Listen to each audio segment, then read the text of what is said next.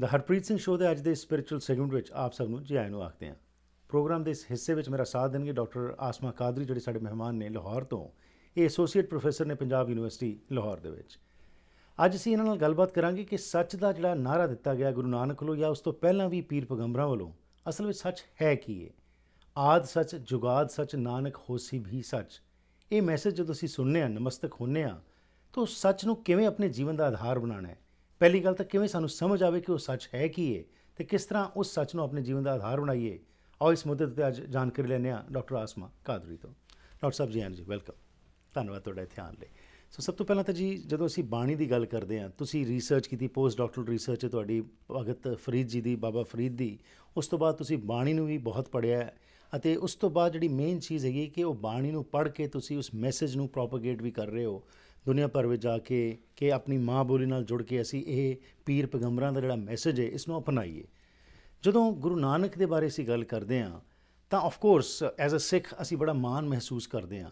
ਪਰ ਨਾਨਕ ਜੀ ਦੀ ਜਿਹੜੀ ਬਾਣੀ ਹੈਗੀ ਹੈ, ਉਹ ਸਾਰਿਆਂ ਵਾਸਤੇ ਸੀ। ਉਹ ਮਜ਼ਹਬ ਤੋਂ ਉੱਤੇ ਉੱਠ ਕੇ, ਧਰਮ ਤੋਂ ਉੱਤੇ ਉੱਠ ਕੇ, ਇਨਸਾਨੀਅਤ ਨੂੰ ਇੱਕ ਮੈਸੇਜ ਸੀ ਕਿ ਅਸੀਂ ਇਨਸਾਨ ਬਣ ਕੇ ਇਹ ਜਿਹੜਾ ਸਾਨੂੰ ਪਰਪਸ ਪਤਾ ਹੋਇਆ ਸੀ, ਕਿਉਂ ਇੱਥੇ ਆਏ ਹਾਂ ਤੇ ਅਸੀਂ ਕੁਝ ਨਾ ਕੁਝ ਇਨਸਾਨੀ ਦੀ ਸੇਵਾ ਕਰ ਸਕੀਏ। ਤੁਹਾਡੀ ਜਿਹੜੀ ਰਿਸਰਚ ਹੈ ਤੇ ਸੱਚ ਦਾ ਜਿਹੜਾ ਕਨਸੈਪਟ ਗੁਰੂ ਨੇ ਸਾਨੂੰ ਦੱਸਿਆ ਉਸ ਤੋਂ ਸਾਨੂੰ ਕੀ ਸਿੱਖਣ ਦੀ ਲੋੜ ਹੈ ਪਹਿਲੀ ਗੱਲ ਤੇ ਹੈ ਜੀ ਕਿ ਰਿਸਰਚ ਕੋਈ ਵੀ ਨਹੀਂ। ਜੀ। ਸਮਝ ਹੈ। ਹੂੰ ਹੂੰ।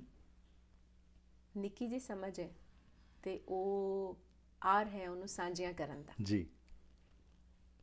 ਤੇ ਜਿਹੜੀ ਤੁਸੀਂ ਗੱਲ ਕੀਤੀ ਕਿ ਅਸੀਂ ਗੱਲਬਾਤ ਕਰ ਰਹੇ ਹਾਂ ਤੇ ਪਹਿਲੇ ਸਾਨੂੰ ਇਹ ਵੇਖਣ ਦੀ ਲੋੜ ਹੈ ਕਿ ਗੱਲ ਹੁੰਦੀ ਕੀ ਹੈ। ਹੂੰ ਹੂੰ। ਔਰ ਗੱਲ ਕਿਉਂ ਕੀਤੀ ਜਾਂਦੀ ਹੈ? ਜੀ। ਤੇ ਨਜਮ ਹੁਸੈਨ ਸੈਯਦ ਸਾਹਿਬ ਦੀ ਇੱਕ ਛੋਟੀ ਜਿਹੀ ਨਜ਼ਮ ਹੈ। ਜੀ। ਕਰਤਾਰ ਸਰਾਬੇ ਦਾ ਪਰਤਾਵਾ। ਹੂੰ ਕਰਤਾਰ ਸਰਾਬੀ ਹੋਰਾਂ ਦਾ ਨਾਮ ਤੁਸੀਂ ਸੁਣਿਆ ਹੋਵੇ ਜੀ। ਸੋ ਉਹਨਾਂ ਦੀ ਇੱਕ ਨਜ਼ਮ ਮੈਂ ਤੁਹਾਡੇ ਨਾਲ ਸਾਂਝੀ ਕਰਨੀ ਆ ਫਿਰ ਅਸੀਂ ਸੱਚ ਦੇ ਬਾਰੇ ਗੱਲ ਕਰਾਂਗੇ ਸ਼ੋਰ ਗੱਲਾਂ ਨਿਰੀਆਂ ਗੱਲਾਂ ਨਹੀਂ ਹੁੰਦੀਆਂ। ਹੂੰ। ਗੱਲਾਂ ਨਿਰੀਆਂ ਗੱਲਾਂ ਨਹੀਂ ਹੁੰਦੀਆਂ। ਜੀ। ਇਹਨਾਂ ਦੇ ਹੱਥ ਪੈਰ ਹੁੰਦੇ ਨੇ। ਹੂੰ ਜਿੱਥੋਂ ਲੰਘਣ ਨਿਸ਼ਾਨ ਪੈਰਾਂ ਦੇ। ਜੀ। ਜਿੱਥੋਂ ਲੰਘਣ ਨਿਸ਼ਾਨ ਪੈਰਾਂ ਦੇ ਬੁਝਾਇਆ ਨਹੀਂ ਬੁਝਦੇ। ਹੂੰ। ਸਦੀਆਂ ਖਸ ਜਾਵਣ। ਹੂੰ ਹੱਥ ਲੱਗਣ ਜਿੱਥੇ ਕੀ ਕਰਦੇ ਨੇ। ਹੂੰ। ਹੱਥ ਲੱਗਣ ਜਿੱਥੇ ਕੀ ਕਰਦੇ ਨੇ ਕੀ ਲੈਂਦੇ ਨੇ ਕੀ ਤਰਦੇ ਨੇ। ਹੂੰ ਇਹ ਲੇਖਾ ਲਿਖਿਆ ਜਾਂਦਾ ਏ। ਜੀ। ਧਰਤ ਦੇ ਮਸਤਕ ਤੇ। ਵਾਹ ਬਹੁਤ ਖੂਬ ਬਹੁਤ ਖੂਬ। ਸੋ ਗੱਲਾਂ ਹੀ ਸਨ ਜਿਹੜੀਆਂ ਫਰੀਦ ਨੇ ਕੀਤੀਆਂ ਆਪਣੇ ਵੇਲੇ 'ਚ। ਠੀਕ। ਉਹ ਸੱਚ ਸਨ। ਜੀ। ਸੋ ਅੱਜ ਵੀ ਪੇ ਕਰਨੇ ਆ। ਬਿਲਕੁਲ। ਉਹਨਾਂ ਗੱਲਾਂ ਦੇ ਹੱਥਾਂ ਪੈਰਾਂ ਜੋ ਕਿਰਤ ਕੀਤੀ। ਜੀ। ਉਹ ਮਿੱਟੀ ਨੇ ਸਾਂਭੀ ਹੂੰ ਮਿੱਟੀ ਕੀ ਹੈ ਖਲਕਤ ਹੈ ਠੀਕ ਆਮ ਨਿਮਾਣੀ ਮਾੜੀ ਮਖਲੂਕ ਹੈ ਹੂੰ ਹੂੰ ਉਹਨੇ ਸਾਂਭ ਕੀਤੀ ਜੀ ਉਹੀ ਸਾਂਭ ਸੀਨਿਓ ਸੀਨੀ ਯਾਦ ਚਲਦੀ ਚਲਦੀ ਬਾਬਾ ਨਾਨਕ ਦੀ ਕਪੜੀ ਜੀ ਬਾਬਾ ਨਾਨਕ ਨੇ ਪੰਧ ਕਰਦਿਆਂ ਜੂ ਹੋ ਜੂ ਫਿਰਦਿਆਂ ਉਹੀ ਗੱਲਾਂ ਆਮ ਖਲਕਤ ਨੂੰ ਸੁਣੀਆਂ ਜੀ। ਲਿਖ ਸਾਂਭੀਆਂ ਜਿਹੜੀਆਂ ਅੱਜ ਸਾਡੇ ਕੋਲ ਗੁਰਬਾਣੀ ਦਾ ਹਿੱਸਾ ਨੇ। ਜੀ। ਸੋ ਗੱਲ ਜਿਹੜੀ ਸੱਚ ਦੀ ਜਿੱਥੋਂ ਕਿ ਗੁਰਬਾਣੀ ਸ਼ੁਰੂ ਹੁੰਦੀ ਹੈ ਉਹ ਸੱਚ ਦਾ ਜਿਹੜਾ ਬੀ ਬੋਇਆ ਫਰੀਦ ਨੇ ਉਹੀ ਰੁੱਖ ਹੋ ਬਣਿਆ ਹੈ ਗੁਰਬਾਣੀ ਵਿੱਚ। ਠੀਕ। ਆਦ ਸੱਚ ਜੁਗਾਦ ਸੱਚ। ਹੈ ਵੀ ਸੱਚ। ਨਾਨਕ ਹੋਸੀ ਹੋਸੀ ਵੀ ਸੱਚ। ਜੀ। ਪਹਿਲੀ ਚੀਜ਼ ਜਿਹੜੀ ਵੇਖਣ ਵਾਲੀ ਉਹ ਇਹਦੇ 'ਚ ਹੈ ਵੇਲਾ। ਹੂੰ। ਵੇਲਾ ਅਸੀਂ ਮਿਣਨੇ ਆ ਗਿਣਨੇ ਆ। ਇੱਕੋ ਜਿਹੜਾ ਲੰਘ ਗਿਆ। ਜੀ। ਇੱਕੋ ਜਿਹਦੇ ਵਿੱਚ ਹਾਜ਼ਰ ਹਾਂ। ਹੂੰ। ਇੱਕ ਆਉਣ ਵਾਲਾ। ਇਹ ਤ੍ਰੈਵੇ ਵੇਲੇ ਸੱਚ ਕਿਵੇਂ ਹੋ ਸਕਦੇ ਨੇ? ਹੂੰ। ਸੋ ਸੱਚ ਹੈ ਜਿਹੜਾ ਉਹਦੇ ਅਰਥ ਲੱਭਣ ਦੀ ਲੋੜ ਹੈ। ਜੀ। ਸੱਚ ਟਰੂਥ ਨਹੀਂ ਹੈ। ਹੂੰ ਹੂੰ। ਹਰ ਬੋਲੀ ਹੈ ਜਿਹੜੀ ਉਹਦੇ ਵਿੱਚ ਹਰ ਅੱਖਰ ਦਾ ਆਪਣਾ ਪਰਿਵਾਰ ਹੁੰਦਾ ਹੈ। ਜੀ। ਅੱਖਰ ਕੋਈ ਨਿਰਾਖਰ ਨਹੀਂ ਹੁੰਦਾ। ਠੀਕ। ਉਹ ਇੱਕ ਲਫ਼ਜ਼ ਨਹੀਂ ਹੁੰਦਾ। ਹੂੰ। ਉਹਦਾ ਇੱਕ ਆਪਣਾ ਪਿੱਛੇ ਬੜਾ ਲੰਮਾ ਪੰਧ ਹੁੰਦਾ। ਜੀ। ਤਾਂ ਜਾ ਕੇ ਉਹ ਅੱਖਰ ਬਣਦਾ ਹੈ। ਹੁਣ ਸੱਚ ਅਗਰ ਗੁਰਬਾਣੀ ਦਾ ਮੁੱਢ ਬਣਾਇਆ ਨਾਨਕ ਜੀ ਨੇ ਉਹਦੇ ਪਿੱਛੇ ਸੱਚ ਦਾ ਪੂਰਾ ਪੰਧ ਹੈ। ਜੀ। ਅਸੀਂ ਵੀ ਮਤਾਂ ਇੰਨੇ ਜੋਗੇ ਨਾ ਹੁੰਦੇ ਜੋ ਅਸੀਂ ਉਸ ਸੱਚ ਤੱਕ ਪਹੁੰਚ ਸਕਦੇ। ਹੂੰ ਇਹ ਦੇਣ ਹੈ ਸਾਨੂੰ ਉਸ ਸੰਗਤ ਦੀ ਜਿਹੜੀ ਨਜਮ ਹੁਸੈਨ ਸੈਯਦ ਹੋਰਾਂ ਨੇ ਸ਼ੁਰੂ ਕੀਤੀ। ਹੂੰ ਹੂੰ ਔਰ ਅੱਜ ਤੱਕ ਵੀ ਚੱਲਦੀ ਹੈ। ਜੀ। ਉਹਦੇ ਵਿੱਚ ਹੀ ਉਹਨਾਂ ਨੇ ਇਸ ਸੱਚ ਦੇ ਅੱਥਰ ਅੱਖਰ ਸਭ ਦੇ ਨਾਲ ਸਾਂਝੇ ਕੀਤੇ। ਹੂੰ ਹੂੰ ਉਹ ਕੀ ਨੇ? ਕਿ ਸੱਚ ਉਹ ਹਸਤੀ ਔਰ ਉਹ ਹੋਂਦ ਹੈ ਜੀ। ਜੋ ਦਾਨ ਕਰਨ ਪਾਰੂ ਬਣਦੀ ਹੈ। ਹੂੰ। ਸੱਚ ਕੋਈ ਅੱਖਰ ਨਹੀਂ ਹੈ ਜਿਹਨੂੰ ਬੋਲ ਦਿੱਤਾ ਜਾਏ ਜਾਂ ਸੱਚ ਕੋਈ ਟਰੂਥ ਨਹੀਂ ਹੈ ਜਿਹੜਾ ਕਹਿ ਦਿੱਤਾ ਜਾਂ ਐਲਾਨ ਕਰ ਦਿੱਤਾ। ਹੂੰ ਹੂੰ। ਸੱਚ ਕਰਨੀ ਹੈ ਔਰ ਉਹ ਕਰਨੀ ਜਿਹੜੀ ਸਾਮੀ ਹੈ ਜਿਹਦੇ ਵਿੱਚ ਵੰਡ ਨਹੀਂ ਹੈ ਜੀ। ਧਰਮ ਦੀ ਜੂ ਦੀ ਜਾਤ ਦੀ ਕਸਬ ਦੀ। ਹੂੰ ਹੂੰ। ਜਿਹੜੀ ਹੈ ਨਾ ਸਭ ਤੋਂ ਵੱਖਰੀ ਹੈ ਇਹੀ ਸੁਨੇਹਾ ਸੀ ਨਾਨਕ ਦਾ। ਰਾਈਟ ਸੋ ਜਦੋਂ ਸੱਚ ਦੀ ਗੱਲ ਹੁੰਦੀ ਹੈ ਹੂੰ। ਤੇ ਸਾਨੂੰ ਸੱਚ ਦੀ ਸ਼ਕਲ ਵੇਖਣ ਦੀ ਲੋੜ ਹੈ ਕਿ ਕੀ ਹੈ ਜੀ। ਸੱਚ ਜਿਹੜਾ ਉਹ ਮਿੱਟੀ ਹੈ ਹੂੰ। ਮਿੱਟੀ ਦਾ ਸਭ ਦੇ ਨਾਲ ਸੰਗ ਸਾਵਾਂ ਹੈ ਜੀ। ਮਿੱਟੀ ਜਿਹੜੇ ਦੇਸ਼ 'ਚ ਵੀ ਹੈ ਉਹਦਾ ਕੰਮ ਉਹ ਪਾਵਣ ਹੈ ਜੀ। ਉਹਦਾ ਕੰਮ ਦਾਨ ਕਰਨ ਹੈ ਹੂੰ। ਦੇਣ ਹੈ ਸਾਂਭਣ ਹੈ ਤੇ ਵਰਤਾਵਣ ਹੈ। ਠੀਕ। ਕਿਤੇ ਕਿਸੇ ਥਾਂ ਤੇ ਐਵੇਂ ਹੀ ਬੀਂ ਡਿੱਗ ਪਿਆ ਧਰਤ ਨੇ ਉਹਨੂੰ ਸਾਂਭ ਲਿਆ। ਜੀ। ਉਹਨੂੰ ਉਹਨੇ ਜ਼ਾਇਆ ਨਹੀਂ ਹੋਣ ਦਿੱਤਾ ਵੇਸਟ ਨਹੀਂ ਹੋਣ ਦਿੱਤਾ। ਜੀ। ਉਹਦੀ ਸਾਂਭ ਕੀਤੀ। ਸੋ ਸੱਚ ਸਾਂਭ ਕਰਦਾ। ਹੂੰ ਹੂੰ। ਉਹਦੀ ਸਾਂਭ ਕੀਤੀ ਉਹਨੇ ਆਪਣੇ ਕੋਲ ਰੱਖਿਆ ਹਨੇਰੇ ਦੇ ਵਿੱਚ। ਉਸ ਬੀ ਨਾਲ ਆਪਣੀ ਸਾਂਝ ਬਣਾਈ। ਫਿਰ ਉਹਦੀ ਜਾਣ ਪਛਾਣ ਕਰਾਈ। ਹੂੰ। ਵਾਹ ਨਾਲ ਸੂਰਜ ਨਾਲ ਤੇ। ਪਾਣੀ ਨਾਲ। ਠੀਕ। ਜਿਸ ਲਈ ਬੀ ਨੇ ਆਪਣੀ ਦੂਈ ਹਰ ਬੀ ਦੇ ਵਿੱਚ ਦੋ ਹਿੱਸੇ ਹੁੰਦੇ ਨੇ ਜੀ। ਜੀ। ਉਸ ਬੀ ਨੇ ਆਪਣੀ ਦੂਈ ਨੂੰ ਛੱਡ ਕੇ ਹੂੰ। ਮਿੱਟੀ ਪਾਣੀ ਵਾਹ ਦੀ ਸਾਂਝ ਜਿਹੜੀ ਉਹਦੀ ਇਕਾਈ ਸਿਆਤੀ ਹੂੰ ਹੂੰ। ਤੇ ਫੁੱਟ ਪਿਆ। ਠੀਕ। ਹੁਣ ਉਹ ਬੂਟਾ ਬਣ ਕੇ ਸੱਚ ਹੋ ਗਿਆ। ਹੂੰ। ਸੋ ਸੱਚ ਦੀ ਪਛਾਣ ਨੇ ਉਹਨੂੰ ਬੀ ਤੋਂ ਬੂਟਾ ਕੀਤਾ। ਜੀ। ਇਹੀ ਸਾਡਾ ਜੀਵਨ ਹੈ। ਹੂੰ ਇਹੀ ਸੱਚ ਹੈ ਕਿ ਔਰ ਰੁੱਖ ਦੀ ਫਿਰ ਹੋਂਦ ਕੀ ਹੈ? ਰੁੱਖ ਦੀ ਹੋਂਦ ਆਪਣੇ ਕੀਤੇ ਤੇ ਹੈ ਨਹੀਂ। ਜੀ। ਵੱਡਾ ਹੋਇਆ। ਹਰਿਆਵਲ ਵੀ ਸਾਡੇ ਲਈ। ਹੂੰ। ਫੁੱਲ ਫਲ ਵੀ ਸਾਡੇ ਲਈ। ਪੱਤਰ ਛਾਂ ਲਈ। ਜੀ। ਉੱਤੇ ਪਖੂਆਂ ਦੇ ਆਲ ਨੇ। ਮੁੱਕ ਗਿਆ। ਤੇ ਵੱਢ ਕੇ ਬਾਲਣ। ਠੀਕ। ਪੂਰੀ ਹੋਂਦ ਦਾਨ ਹੈ। ਹੂੰ। ਸੋ ਇਹ ਸੱਚ ਵਾਹ ਹੂੰ। ਵਾਹ ਸਾ ਟੈਂਡਾ ਵਾਹ ਸਾ ਮੈਂਡਾ। ਹੂੰ ਹੂੰ। ਸਾਡੀ ਸਾਂਝ ਕੀ ਹੈ? ਇਹੀ ਨਹੀਂ ਹੈ। ਜੀ। ਸੋ ਵਾਹ ਝੁਲਦੀ ਹੈ। ਜੀ। ਸਾਵੀਂ। ਇਹ ਨਹੀਂ ਕਹਿੰਦੀ ਇੱਥੇ ਜਾਣਾ ਇੱਥੇ ਨਹੀਂ ਜਾਣਾ। ਹੂੰ। ਉਹਨੇ ਸਾਵਾਂ ਝੁਲਣਾ ਹੈ ਔਰ ਸਭ ਨੂੰ ਸਾਵਾਂ ਦਾਨ ਕਰਨਾ ਹੈ। ਜੀ। ਸੋ ਵਾਹ ਸੱਚ ਹੈ। ਪਾਣੀ। ਹੂੰ। ਹੇਠੋਂ ਹੇਠ ਨਹੀਂ ਹੁੰਦਾ। ਠੀਕ। ਹੇਠੋਂ ਹੇਠ ਟੁਰਦਾ। ਜਿੰਨਾ ਹੇਠਾਂ ਉਹਨਾਂ ਸੁਥਰਾ ਹੂੰ। ਔਰ ਜਿਹਨੂੰ ਛੋਂਦਾ ਉਹਨੂੰ ਨਿਰੋਇਆ ਕਰਦਾ ਸਜਰਾ ਕਰਦਾ ਹੈ। ਪਾਣੀ ਮੁੱਢੇ ਜੀਉਣ ਦਾ। ਜੀ। ਸੋ ਸੱਚ ਹੈ। ਹੂੰ। ਸੋ ਸੱਚ ਦੀ ਸ਼ਕਲ ਸਮਝ ਕੇ ਸਾਨੂੰ ਆਪਣੀ ਹਸਤੀ ਦੇ ਵਿੱਚ ਉਹਨੂੰ ਵਿਚਾਰਨ ਦੀ ਲੋੜ ਹੈ। ਜੀ। ਕਿਉਂਕਿ ਬੰਦਾ ਪੰਜ ਤੱਤ ਨਾਲ ਬਣਿਆ ਗੁਰਬਾਣੀ ਦਸੰਦੀ ਠੀਕ। ਹੁਣ ਉਹੀ ਸੱਚ ਸ਼ਬਦ ਵਿੱਚ ਦੇਖੋ। ਪਵਨ ਗੁਰੂ ਪਾਣੀ ਪਿਤਾ ਹੂੰ। ਮਾਤਾ ਧਰਤ ਮਹਤ। ਜੀ। ਦਿਵਸ ਰਾਤ ਦੋਏ ਦਾਈ ਦਈਆ। ਹੂੰ। ਖੇਲੇ ਸਗਲ ਜਗਤ। ਜੀ। ਪਵਨ ਵਾਏ ਹੂੰ। ਵਾ ਕੀ ਹੈ ਗੁਰੂ। ਜੀ। ਸੋ ਜੇ ਸਾਡਾ ਗੁਰੂ ਸੱਚ ਹੋ ਜਾਏ ਜੀ। ਤੇ ਜੀਵਨ ਬਦਲ ਨਾ ਜਾਏ। ਹੂੰ। ਸੋ ਵਾ ਜੀਵਨ ਜਾਚ ਸਿਖਾਈਏ। ਜੀ। ਪਾਣੀ ਨੀਵਣਾ ਸਿਖਾਇਆ। ਹੂੰ ਹੂੰ ਧਰਤ ਉਪਜਾਉਣਾ ਸਿਖਾਇਆ। ਸੋ. ਜੇ ਇਹ ਤਿੰਨ ਆਰ ਜਿਉਣ ਦੇ ਬਣ ਜਾਣ ਹੂੰ। ਤੇ ਸੱਚ ਦੀ ਪ੍ਰੈਕਟਿਸ ਆ ਨਹੀਂ ਜਾਂਦੀ। ਬਹੁਤ ਖੂਬ। ਬਾਣੀ ਬਹੁਤ ਸਰਲ ਤਰੀਕੇ ਨਾਲ ਸਾਨੂੰ ਸਮਝਾਉਂਦੀ ਹੈ ਕਿ ਅਸੀਂ ਕਿਸ ਤਰੀਕੇ ਨਾਲ ਇਹਨਾਂ ਚੀਜ਼ਾਂ ਨੂੰ ਆਪਣੇ ਜੀਵਨ ਵਿੱਚ ਇੰਬਾਈਬ ਕਰ ਸਕਨੇ ਆ ਤੇ ਉਹ ਸੱਚ ਦਾ ਇੱਕ ਹਿੱਸਾ ਬਣ ਸਕਦੇ ਆ। ਸਮਾਂ ਇੱਕ ਛੋਟੀ ਜਿਹੀ ਬ੍ਰੇਕ ਦਾ ਜੀ ਬ੍ਰੇਕ ਤੋਂ ਬਾਅਦ ਵਾਪਸ ਆ ਕੇ ਹੋਰ ਇਸ ਵਾਰਤਾਲਾਪ ਨੂੰ ਅੱਗੇ ਚਲਾਉਂਦੇ ਆ ਇਸ ਬ੍ਰੇਕ ਤੋਂ ਬਾਅਦ। ਘਰ ਨੂੰ ਅੰਦਰੋਂ ਤਾਂ ਚੰਗੇ ਤਰੀਕੇ ਨਾਲ ਸੋਨਾ ਬਣਾ ਲਿਆ ਹੈ, ਪਰ ਬਾਹਰ ਦੀ ਦਿੱਖ ਨੂੰ ਵਧੀਆ ਬਣਾਉਣ ਲਈ ਚਿੰਤਤ ਹੋ। ਤਾਂ ਆਓ ਪੈਸੀਫਿਕ ਆਰਟ ਸਟੋਨ ਤੇ, ਜਿੱਥੇ ਤੁਹਾਨੂੰ real stone manufactured stone veneer limestone granite marble ਆਦਿ ਵਧੀਆ ਕਲੈਕਸ਼ਨ ਲੈਣ ਨੂੰ ਮਿਲੇਗੀ। 2006 ਤੋਂ ਇਹ ਹਾਈ ਕੁਆਲਿਟੀ ਦੇ ਪ੍ਰੋਡਕਟਸ ਤੇ ਵਧੀਆ ਕਸਟਮਰ ਸਰਵਿਸ ਲਈ ਮਸ਼ਹੂਰ ਹਨ। ਇਹ ਨੈਚੁਰਲ ਤੇ ਮੈਨੂਫੈਕਚਰਡ ਸਟੋਨ ਵਿਨੀਅਰ ਦੇ ਨਾਮਵਰ ਮੈਨੂਫੈਕਚਰਰ ਤੇ ਇੰਪੋਰਟਰ ਹਨ। ਐਕਸਟੀਰੀਅਰ ਫਲੋਰਿੰਗ ਡੈਕਸ ਪੌੜੀਆਂ ਦੀ ਵੀ ਕਲੈਕਸ਼ਨ ਰੱਖਦੇ ਹਨ। ਅੱਜ ਹੀ ਆਓ 8585 street Surrey 6045905999 once again welcome back to the program ਮੇਰਾ ਸਾਥ ਨੇ ਡਾਕਟਰ ਆਸਮਾ ਕਾਦਰੀ ਤੇ ਗੱਲ ਚੱਲ ਰਹੀ ਹੈ ਸੱਚ ਦੀ ਗੁਰੂ ਨਾਨਕ ਨੇ ਜੋ ਹਾਂ ਮਾਰਿਆ ਸੱਚ ਦਾ ਉਸ ਨੂੰ ਕਿਵੇਂ ਅਸੀਂ ਇੰਬਾਈਬ ਕਰਨਾ ਹੈ ਪਵਨ ਗੁਰੂ ਪਾਣੀ ਪਿਤਾ ਮਾਤਾ ਧਰਤ ਮਹਤ ਹਰ ਰੋਜ਼ ਅਸੀਂ ਪੜ੍ਹਦੇ ਹਾਂ। ਪਰ ਇਸ ਵਿੱਚੋਂ ਕੀ ਸਿੱਖਣਾ ਹੈ? ਇਸ ਬਾਰੇ ਗੱਲਬਾਤ ਚੱਲ ਰਹੀ ਸੀ ਬ੍ਰੇਕ ਤੋਂ ਪਹਿਲਾਂ ਡਾਕਟਰ ਆਸਮਾ ਕਾਦਰੀ ਨਾਲ। ਆਓ ਇਸੇ ਸਫ਼ਰ ਵਿੱਚ ਮੁੜ ਤੋਂ ਜੁੜਦੇ ਹਾਂ।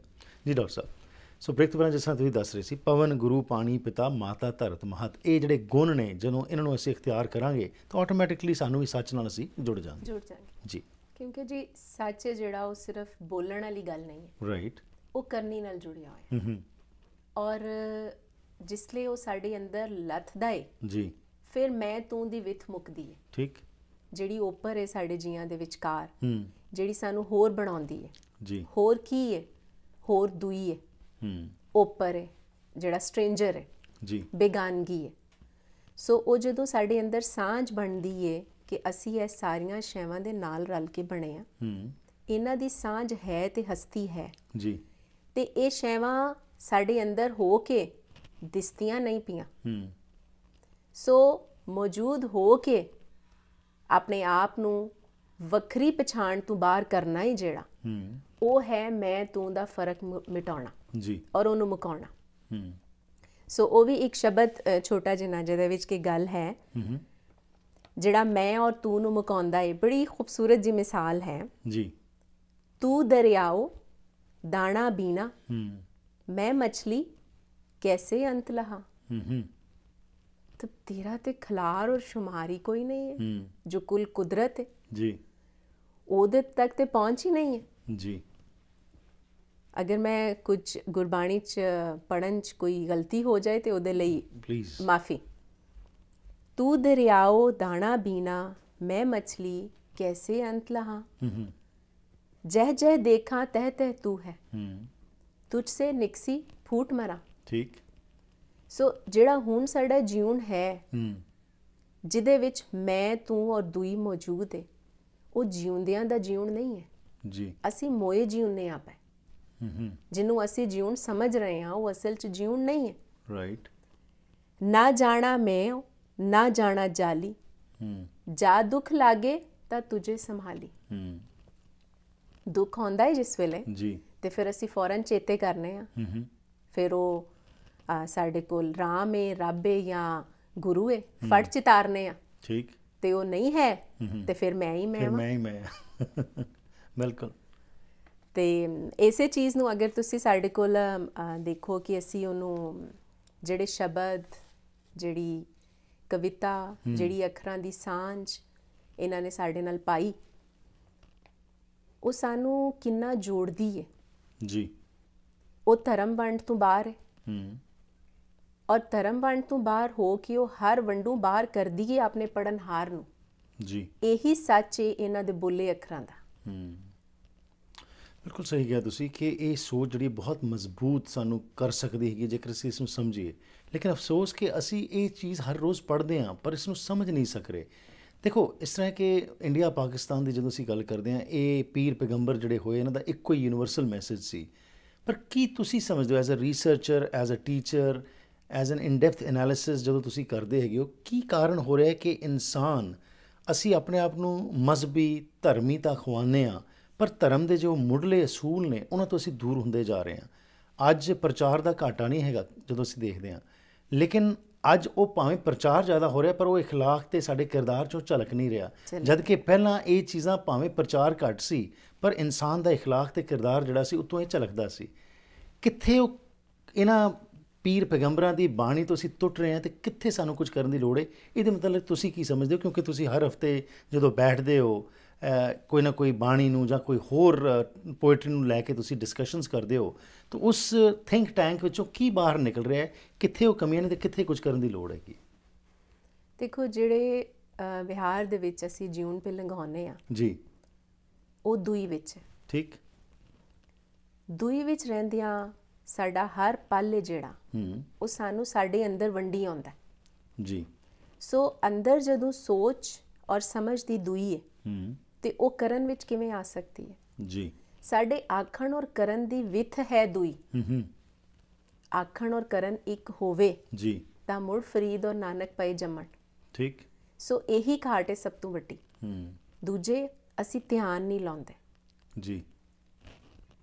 ਸਮੇਂ ਦੀ ਘਾਟ ਬਸ ਡੇਟਾ ਇਕੱਠਾ ਕੀਤਾ ਔਰ ਟੁਰ ਪਏ। ਹੂੰ। ਇੱਕ ਗੱਲ ਸੁਣੀ ਉਹਨੂੰ 10 ਜਗ੍ਹਾ ਡੇਟੇ ਸਮੇਤ ਬਿਆਨ ਕੀਤਾ ਔਰ ਅਸੀਂ ਸਮਝੇ ਅਸੀਂ ਬਹੁਤ ਵੱਡਾ ਕੰਮ ਕੀਤਾ। ਜੀ। ਤੇ ਧਿਆਨ ਤੇ ਇੱਕ ਨਿੱਕੀ ਜਿਹੀ ਚੀਜ਼ ਦੇ ਉੱਤੇ ਲਾਇਆ ਜਾਏ ਹੂੰ।